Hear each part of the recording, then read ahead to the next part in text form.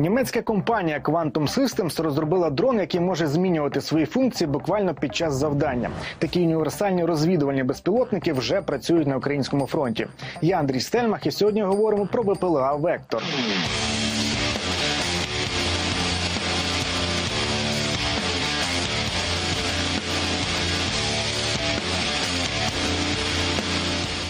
Першочергово вектор розроблявся для цивільних завдань. Це оперативний пошук браконьєрів та зниклих безвісти у важкодоступних місцях. Основною вимогою була витривалість до складних погодних умов.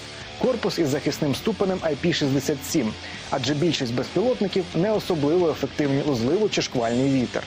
Він може мати різноманітні камери, різноманітні сенсори і е, навіть лідари для того, щоб проводити е, фотограметричну розвитку місцевості, е, е, створювати певні карти, як денні камери, так і нічні, в тому числі обладнані тепловізійним обладнанням. Денні камери також є в декілька форматів з фіксованою лінзою і без якогось оптичного зуму, та ті, що можуть наближувати об'єкти, маючи великий оптичний зум і електронну стабілізацію обладнань о, о, зображення.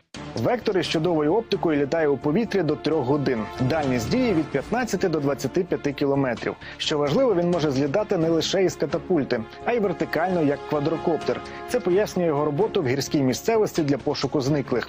Максимальна швидкість 72 кілометри в годину.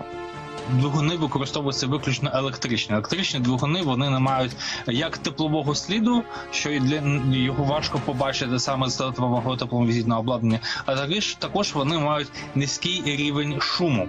Розмах крил безпілотника майже 3 метри, а довжина понад півтора. Попри такі габарити, вектор складається по деталях у невеликий кейс. Коли ми говоримо про усе устаткування необхідне для польотів, то загальний комплект все ж таки він може залежати від до складати може складати від 10 до 15 кілограм і трошки навіть більше.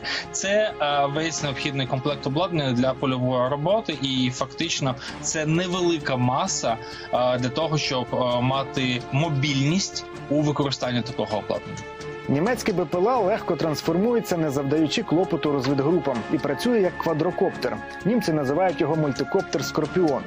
Скорпіона є е, більша можливість прецензійного е, використання на невеликих відстанях, е, використання його вже як класичного ну, мультироторного дрону для інспекцій, для того, щоб зависати над певною ділянкою, для того, щоб проводити пошуки скритих загроз та досліджувати місцевість у вигляді розвідки, особливо на дистанціях до 10 кілометрів. В останньому пакеті допомоги Німеччина передала Україні 54 комплекси Вектор. А ще в січні Українське міністерство оборони замовило 105 таких безпілотників. Значить, ефективні. Зберігайте спокій, вірте в збройні сили.